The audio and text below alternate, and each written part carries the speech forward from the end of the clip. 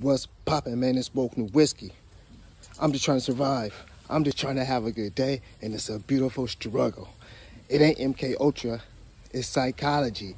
Take the red pill and wake up. All right, so look, I gotta get straight into it. I gotta go to work. You know what I mean? Look, listen, listen, listen. They got all these YouTubers talking about manifestation, right? Manifestation.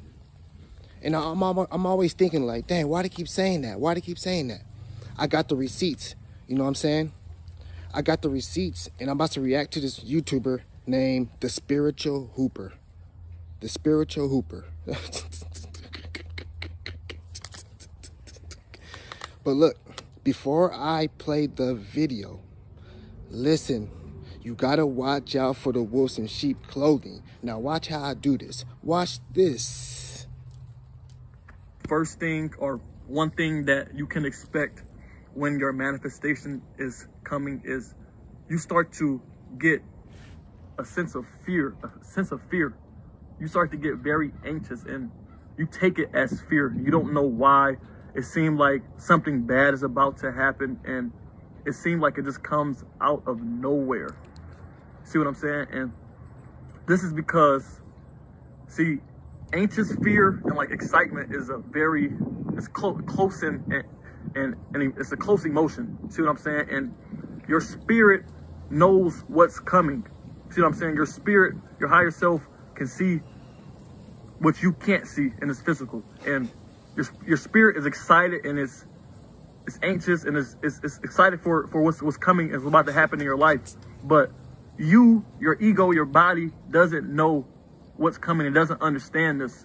And it takes this excitement and it turns it into fear just because the society we live in, the world we live in programs any form of any anytime we feel uncomfortable for us to take that.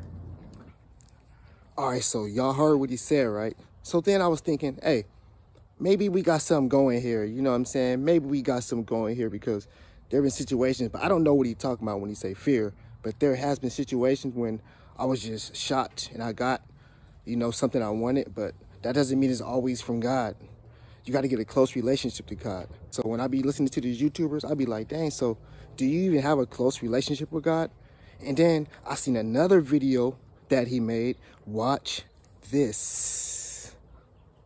What's up, y'all?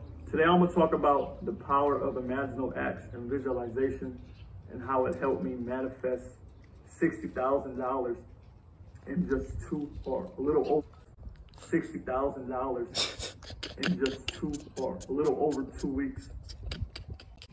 Sixty thousand dollars in little over two weeks. I want to hear this. Let, us hear this.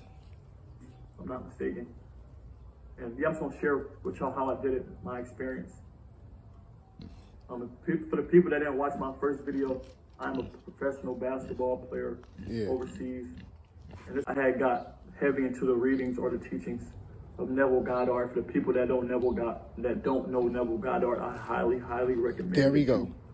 He was just talking, sounding all good on the other video. Now he's talking about some book he read to help him manifest sixty thousand dollars. That ain't from God. Didn't y'all see the receipts? That's crazy.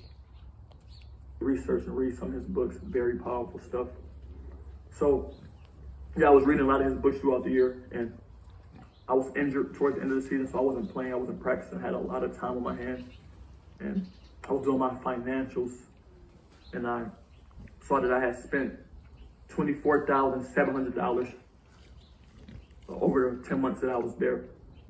So every day I would go into a state akin to sleep, or a deep meditation, you can call it, and I would say to myself over and over again, I would affirm to myself, I would say the affirmation, all the money that I spend comes back to me multiplied.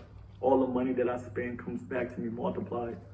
And I will also imagine somebody calling me, a team calling me, an agent calling me, and telling me that they have $50,000 for me for a short amount of time.